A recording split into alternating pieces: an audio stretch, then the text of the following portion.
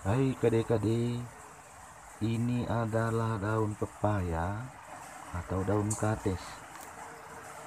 Yang mana daun ini sangat enak akan tetapi sangat pahit sekali.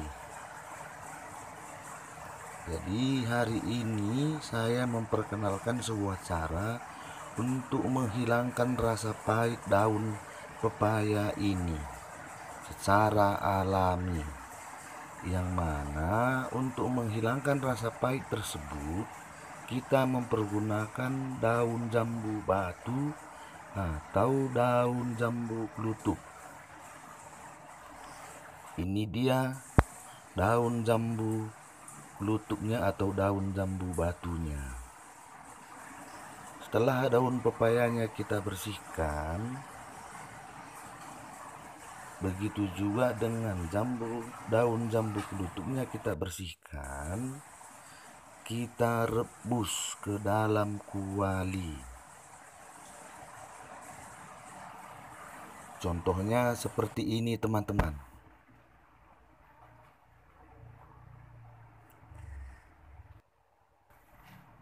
Langkah pertama kita masukkan dulu daun jambu batunya ke dalam kuali.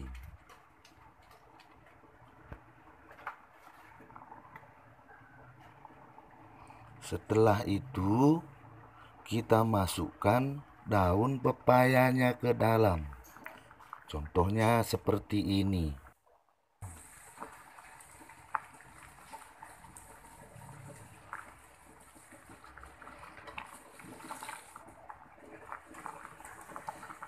Setelah daun pepayanya kita masukkan ke dalam kuali, kita kasih sedikit minyak makan agar daun pepayanya sedikit lembut.